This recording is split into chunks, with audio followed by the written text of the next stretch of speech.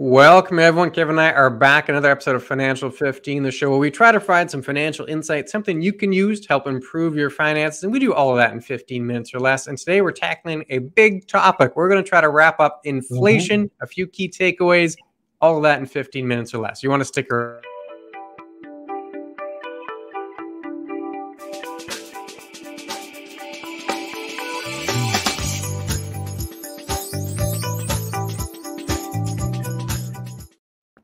Yeah, a topic we haven't talked about recently and probably in the last decade almost because it's been fairly substantially mute in any other way. But again, if you want to know about this topic or any of the other ones that we've done on our Financial 15 or back and forth, please visit our website at beckerorr.com or go to our YouTube channel. We always look for more subscribers or like us on Facebook. We're ready for that. So we're going to start with inflation here, Clint. Now, this topic theoretically in 15 minutes, hard to do. You could take days describing a lot of the stuff in there, but let's give that quick summary for everybody what is inflation? What are we talking about? Yeah, we'll start with a highline definition here. And there's a couple of ways you can look at it. Uh, the two common ways you can look at it as a decline in purchasing power. So you had a hundred bucks, you walked in the grocery store 10 years ago, you walk in today, that hundred dollars, you're not going to get as much produce as you used to get. There's a decline in your purchasing power. Or the other way to view that same topic is that prices went up.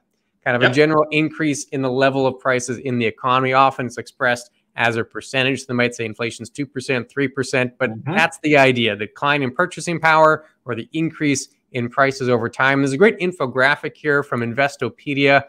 Uh, and it shows you exactly that inflation of a cup of coffee over time. This is U.S. data starting from 1970 at a quarter, quarter per cup, all the way till uh, recently at a buck 59. So that's inflation right there for you, Kevin. Increase in the price of coffee.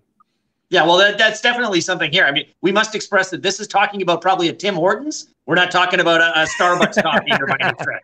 I don't no know fancy when coffee you get here at a quarter. 59. exactly. But I mean, if we look at that, that's a 50 year time span, and that's about 650% of an increase in that time frame. So you can tell that inflation does have a very big effect on your purchasing power and things that you're going to have going forward because, you know, a cup of coffee at a quarter today, everybody'd be lining up. But at a buck 60, it's not quite the same situation, is it?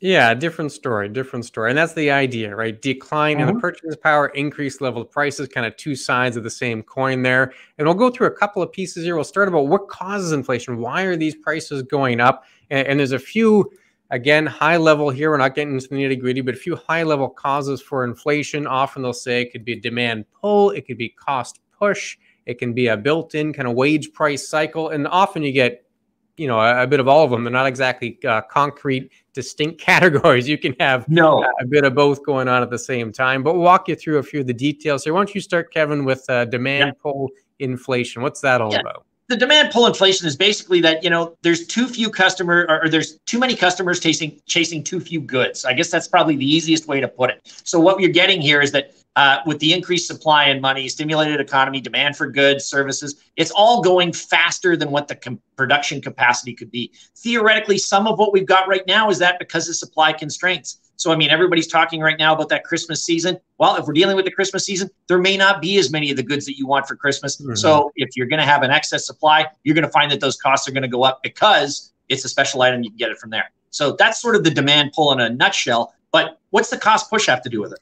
Yeah, cost push a little different. The idea is that the inputs that go into the finished product, those inputs increase in price. You can see there the graphic there. There's got a helium. The price of helium goes up, so the helium balloons suddenly cost mm-hmm. more. Same concept there. And one folks often refer to as an example is commodities. Think of when gas prices go up, well, transportation in general is going to cost more now because it costs more yeah. to fill up the truck or fill up the airplane or whatever the transportation vehicle is. So any goods and services that rely heavily on transportation are going to cost more because gas prices and transportation went up. So the, the inputs go up, the final product increases as well. The last one there, Kevin, uh, more to do with expectations, but the idea yes. is those expectations can become reality when it comes uh, to prices and specifically when it comes to wages.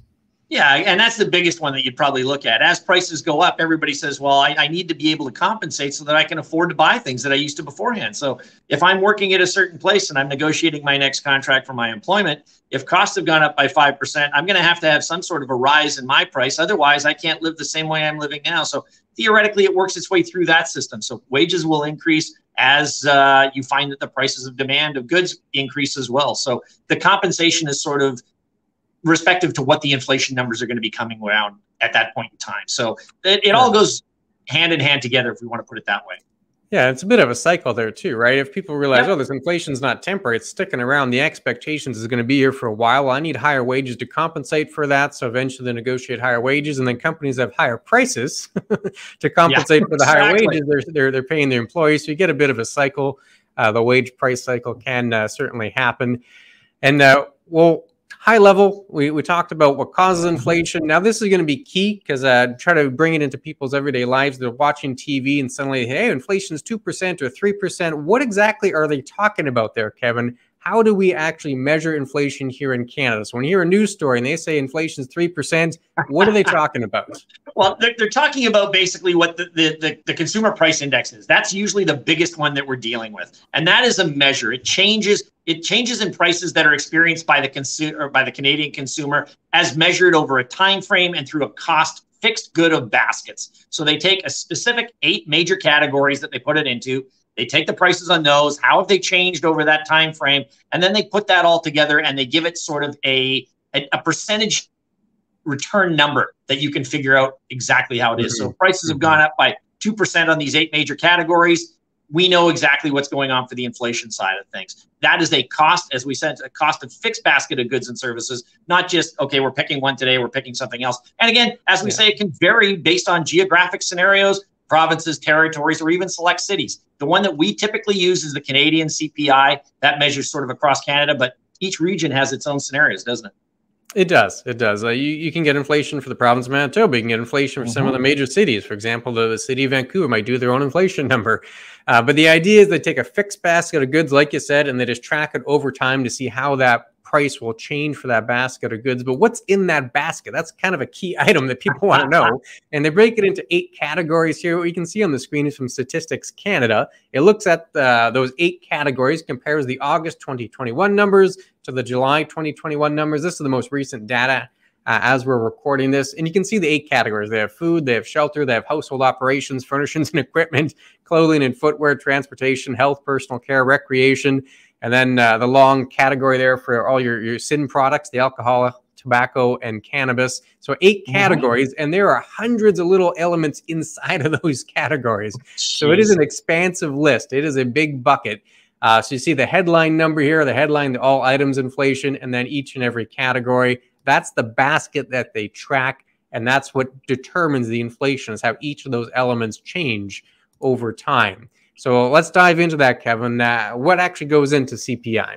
Well, yeah, as, as you mentioned, it was a hundreds of different little elements that we've gotten. As we saw in that last graph that you had out there, I mean, the two biggest ones that have been increased over the last little while has been shelter and transportation. If you notice, mm-hmm. the price of oil's gone way up, as has gasoline, and so has the housing prices. So it all makes sense that your CPI number is going to go up with that. But again, we're dealing with this. It is not an equally weighted scenario. That's one thing that we might, must mention. It may be eight categories, but it's not each category is weighted the same sort of way. So you have to know that certain ones have higher expectations for it and other ones are lower. Now, this basket content, again, is updated every four years, and the category weightings are updated every two years. So mm-hmm. you may change a few of the hundreds of items in, in a specific category every two years, just based on what's new, what's not new, things along those lines. But again, it, it's all going into making up what the elements are that we deal with for the CPI.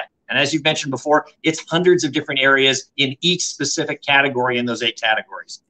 Yeah, and the goal there is they're trying to get a reflection of what the average Canadian spends. Really different spending patterns. They're trying to find some mm-hmm. kind of average, and they do a household survey, the survey of household spending every two years, and that's what they're using to help update the weightings and update the content of that basket. I mean, a, a key item. We looked at that last category on the prior graphic, category eight there, recreational yeah. cannabis, that wasn't even an item until 2016. so clearly right. that was an update they had to make in the basket to uh, make sure they're tracking the products correctly. But you get this idea of a basket of goods, the regular updating to make sure it reflects the average spending of Canadians.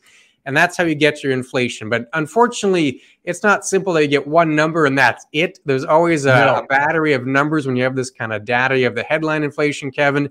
That's the one you'll probably hear on the news. It says up 2%. That's probably your headline number. But then there's this whole concept of core inflation. What's that about?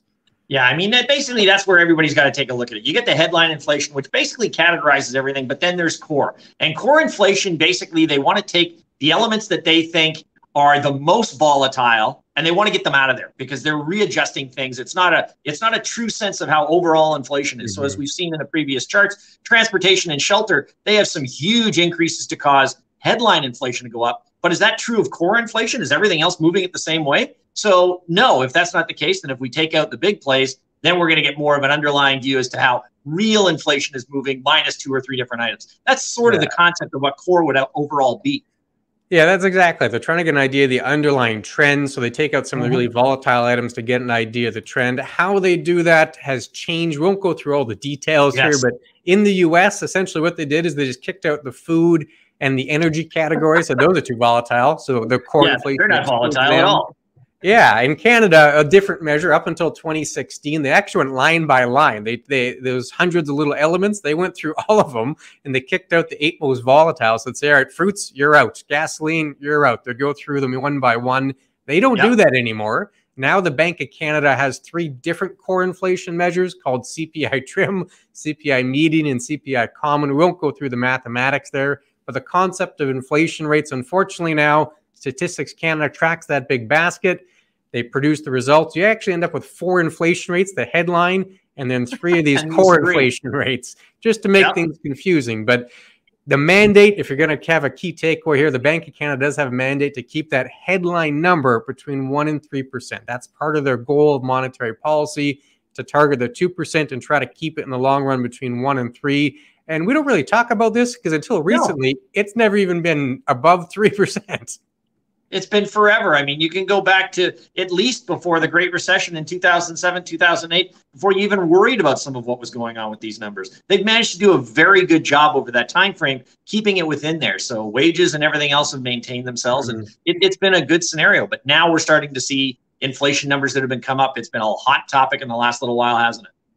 Oh, it has. It certainly has, and rightfully so. Inflation number has started to uh, to rise. So, a, a mm-hmm. reminder here: you have the the headline number, which is the main one that gets calculated that look, looks at the total value of that CPI, that consumer price index. You get a couple of measures of core inflation that the Bank of Canada uses. But why does all this matter, Kevin? Well, all this data, if someone hears the news and they say inflation's 3% or 4%, why would that be important to them? Well, it's important because it dictates exactly what your purchasing power is going to be going forward. I mean, if you mm-hmm. have purchasing power or inflation that's going up five, six, eight, ten percent, your prices are going to escalate by the same way. If you don't have the same sort of wages to compete, it'll decide what can you buy and what can't you. Were you going out for dinner, you know, once a week, and all of a sudden now the prices at the restaurants have increased? Well, maybe I'm not going to go out. Or those that are driving out to the lake all the time. Well, if gas is sitting there at a dollar a liter, that's one thing. At a dollar fifty a liter, now it's substantially more. Your costs in per, are, are, impacted for how often I'm going to drive out or am I going to speed up the boat. So it, it has a huge effect as to what's going on. And as I said, they've managed to keep that fairly stable for now. But what we're seeing here is inflation is infecting these sort of things. But that's not the only one, is it? Yeah, there's a couple. And uh, just to, to bring that home for a retiree or if you're doing a financial plan, that's going to yep. be key. You have to plan for some level of inflation to make sure you can compensate when those prices start to rise. And then the other part of that that I think people want to keep in mind is when you have high inflation, normally interest rates follow. We talked yeah. about the Bank of Canada being able to keep inflation in that one to three percent zone for so long. Well, how they did that is by managing interest rates, moving them up or down accordingly to make sure inflation was in check. So if you have a high level of inflation, it's going to likely influence interest rates, and you're going to see rates rise. So if you're thinking uh, if you got lots of debt on the books, well, that might be a problem.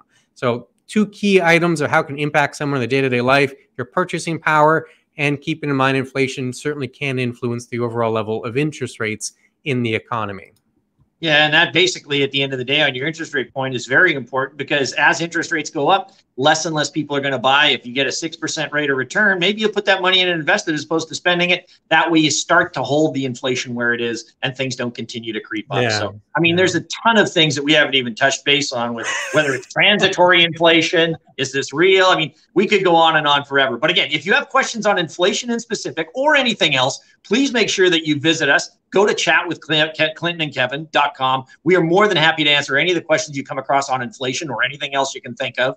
And again, this is sort of just a roundabout introduction to what inflation is. We could go on and on, but again, specific questions may come. Other than that, is there anything else you want to add, Clint? I think that was a good introduction to inflation. We'll be back again uh, with more videos quite soon. Take care.